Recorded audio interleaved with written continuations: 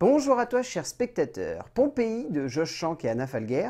Sur le papier, c'était pas un film qui m'intriguait plus que ça, pour être sincère. Mais rapidement, quand j'ai regardé la tête d'affiche, j'ai vu deux noms qui m'intriguaient. Alyosha Schneider et surtout Garance Marillier. Garance Marillier qui avait, si je ne me plante pas, euh, repris aucune tête d'affiche depuis Grave. ça fait quand même un bon petit paquet d'années et moi je me suis dit bah, que dès qu'elle reviendrait à la tête d'affiche d'un long métrage, ça serait vraiment intéressant de voir comment elle allait gérer l'après-coup de grave. Et au-delà de ça, la thématique et le sujet avaient l'air d'être très intéressants. Le résumé pour faire simple, Victor est un jeune homme qui vit avec son petit frère Jimmy et son grand ami Toksu qu'il a recueilli après le départ de son père. Un jour, alors qu'il bosse dans la station-service de Toksu, Victor va faire la rencontre de la jeune et belle Billy. Euh, pour être sincère, j'ai vraiment le cul entre deux chaises. Euh, je trouve que Shank et Falguer n'ont pas complètement réussi leur idée de base. Ils nous proposent une œuvre qui est assez intéressante, qui va dans des directions qui sont plutôt prenantes, qui arrive durant une bonne majorité de son temps à tenir le coup. Mais c'est ça mon souci, c'est que le film ne fait que tenir le coup.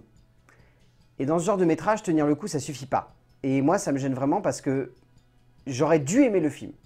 J'aurais dû aimer le film, que ce soit pour ses thématiques, que ce soit pour son genre, que ce soit pour la manière avec laquelle le film est géré. Je trouve qu'en termes de visuel, par exemple, le film est vraiment passionnant. Il y a plein de choses à regarder, il y a plein de choses à analyser, et si ça ne devait être qu'une œuvre purement visuelle, le film se tiendrait à 200%. Manque de peau, c'est également un long métrage qui se tient par la teneur de ses personnages et par le rapport qu'ils entretiennent les uns avec les autres. Et là, bah ça marche pas ça marche pas et c'est dommage parce qu'on a cette idée de base qui est pourtant très intéressante et qui est très présente dans le cinéma français et belge depuis maintenant plusieurs années, cette idée de prendre un sujet simple et de le mixer avec plein de petites choses pour donner lieu à quelque chose de plus grand et de plus fort. Et sur le papier, ça aurait dû être ça, Pompéi.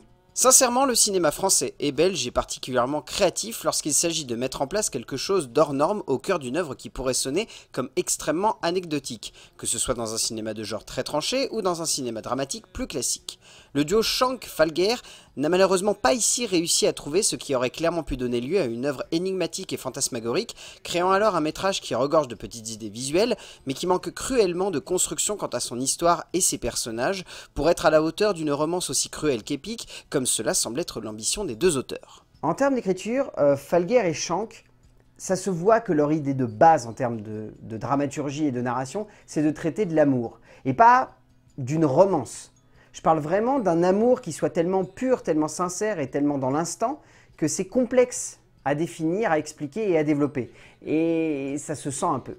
C'est-à-dire que c'est hyper intéressant parce que sur le papier, j'ai eu des relents de 37 degrés de le matin dans le traitement de la romance et dans le traitement des personnages. Et au début, je me suis vraiment dit, ça peut être hyper intéressant parce que on a cette ambiance, on a ces personnages un peu perdus, on a cette idée de nous replacer un contexte par le biais d'un titre qui se voudrait très dramatique, voire proche du tragique. Et du coup, on se dit, la romance entre ces deux personnages ne peut qu'être fatale. Et donc, jusqu'où ça va les amener?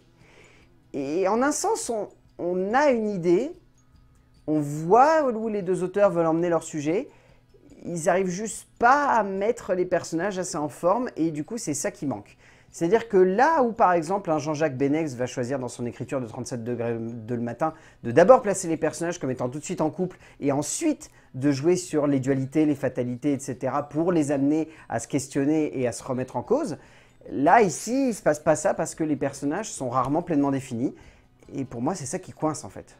Même si l'on sent que dans la construction de l'histoire, le développement des personnages et l'acheminement de leur parcours dramatique vers un destin tragique, les deux scénaristes veulent jouer une carte de l'épuré du réalisme qui donne un certain cachet à leur composition, le reste ne parvient pas à tenir l'ensemble. Que l'on s'attache ou non à ces personnages, que l'on ressente ou non leur amour, que l'on comprenne ou non leur relation, à la fin, on a juste la sensation qu'ils n'ont pas vraiment réussi à se comprendre, et donc en un sens ne se sont jamais pleinement ouverts à nous, spectateurs. En termes de mise en scène, euh, Shank et Falguer euh, alors du coup, Shank, c'est sa deuxième réalisation et Falguer, c'est sa première réalisation du coup en duo, euh, parce qu'avant, elle était chef décoratrice et directrice artistique. Ça se sent. Visuellement, le film est impeccable. C'est le genre d'œuvre devant laquelle on va être fasciné par la qualité des plans, par la puissance des décors, par la justesse de la mise en scène et de la scénographie, qui parviennent ensemble à donner lieu à une vraie ambiance. Et il y a une vraie ambiance au sein de ce film. Honnêtement, je pense que si la mise en scène n'était pas là pour ramener de l'ambiance, j'aurais pu trouvé le film assez mauvais. Heureusement, parce que Falguer et Shank se donnent assez à fond pour faire en sorte de créer des cadres qui aient du sens, d'avoir une photographie qui ait de la logique et d'avoir surtout des décors qui sont vraiment imposants. Je veux dire, cette espèce d'énorme maison en béton qui, pardon du terme, sert littéralement de bésodrome, euh, elle a quand même du caractère. Et que ce soit ça, que ce soit la petite station-service, que ce soit les grandes maisons surélevées dans lesquelles vivent euh, les parents, par exemple, de Billy avec elle, euh, ça rappelle bien évidemment Benex, ça on va revenir dessus, mais pour moi, il y a vraiment une filiation avec 37 degrés de matin, mais ça va au-delà de ça. Il y a une envie également de mêler les genres, d'avoir une photographie et une mise en scène qui soit plus de l'ordre du western et d'avoir du coup en opposition cette dramaturgie et cette narration qui veulent épouser l'idée de romance et d'épique romantique, presque romanesque par instant. Il y a tout ça en fait. Et heureusement que la mise en scène est là pour en capter la sève et l'essence même, pour justement que ça fonctionne sur le spectateur. Parce que sinon, s'il n'y avait pas ça, ça ne fonctionnerait pas du tout. Western dramatique et crépusculaire au cœur d'un désert rappelant énormément un certain Benex, Shank et Falguer veulent réellement créer une esthétique et on ressent vraiment que le travail de chef décoratrice et artistique de la réalisatrice a permis de construire un ensemble de décors qui captive et fascine. Bien sûr, cela ne donne pas toujours le punch nécessaire à l'ensemble pour réussir à totalement nous embarquer de bout en bout de métrage. La faute à un montage très lent et contemplatif, mais il reste tout de même sa sensation de grandiose, d'intense, de macabre lunaire et de romantisme sec qui permet à cette mise en scène de briller par pas mal d'aspects. En termes de casting, euh, je trouve que Vincent Rottier déjà est vraiment excellent. C'est un immense acteur, j'en reste persuadé. C'est juste que à chaque fois, on lui file un peu les mêmes rôles. Là, encore une fois, il a un peu le même type de personnage qu'il a l'habitude de jouer depuis maintenant quasiment 5-6 ans, mais heureusement, il arrive quand même à bien jouer avec ce personnage pour lui donner du corps et assez de forme pour qu'on s'y attache. Bien évidemment, il faut que je salue la performance de Garance Marillier parce que je trouve que c'est une actrice qui est extrêmement douée, qui peut-être se pose beaucoup de questions, ça serait pas étonnant suite au succès de Grave, mais vraiment ici, elle démontre qu'elle est capable de jouer beaucoup de choses et qu'elle est capable d'avoir un magnétisme assez saisissant à l'écran. Je veux dire, les quelques séquences où on la voit au tout début, euh, il se passe quelque chose en une fraction de seconde et elle arrive très très bien en plus à jouer avec son corps, chose de plus en plus compliquée aujourd'hui dans le cinéma avec toutes les remises en question qu'il y a autour des modèles, autour des, clichés, etc. Mais ici, elle s'en sort très bien, elle arrive très très bien à jouer avec ça. Et il y a également cet acteur principal que je trouve extrêmement talentueux, que j'avais vaguement aperçu par le passé, mais ici, vraiment, il démontre tout son talent. Alyosha Schneider, dont la parenté avec Nils n'est même pas à chercher tant la ressemblance est flagrante, impose une prestation aussi charismatique que charmante, l'acteur parvenant presque à hypnotiser le cadre par une beauté presque déconcertante, mais d'une efficacité redoutable par le biais de son jeu.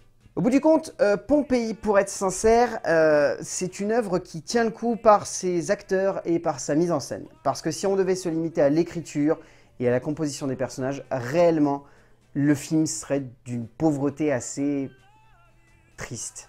Parce que vraiment, il n'y a pas grand-chose à se mettre sous la dent en termes de dramaturgie. Il y a beaucoup, beaucoup de métaphores, et c'est ça mon problème en fait. Je ne l'ai pas trop évoqué parce qu'il n'y a pas grand chose à dire derrière, parce que c'est tellement métaphorique par instant, que ce soit dans les dialogues assez brefs, que ce soit dans les rapports entre les personnages qui sont tellement vagues que tu as envie forcément de les interpréter, ça laisse trop de place à l'imaginaire pour réellement être concret. Et donc du coup, on se sent complètement perdu. Mais la mise en scène, par le biais d'un travail de, décor et d'esthétisme très poussé, et les acteurs qui se donnent à fond, ça suffit à faire quand même de Pompéi, de Josh Shank et Anna Falguer, quelque chose de pas mal, mais en même temps de pas abouti.